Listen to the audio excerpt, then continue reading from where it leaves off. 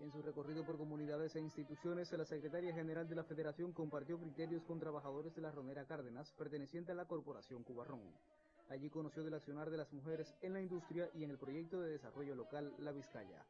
Teniendo en cuenta que la batalla económica es una de las batallas importantes y eso no le es ajeno a la Federación, hemos visto también cómo se puede incorporar más el enfoque de género a los proyectos de desarrollo local y hemos visto un proyecto de desarrollo local aquí que nos parece un excelente proyecto que tiene que ver además con la cultura eh, comunitaria, tiene que ver también con la historia de este municipio y por tanto hemos pedido incorporar un poco más el enfoque de género en ese proyecto y hemos escuchado también cómo marcha la tarea de ordenamiento en este grupo eh, de mujeres de aquí de, de la Ronera. ¿no? Las cardenenses destacan en la defensa de sus derechos y oportunidades con el ejemplo desde cada puesto de labor.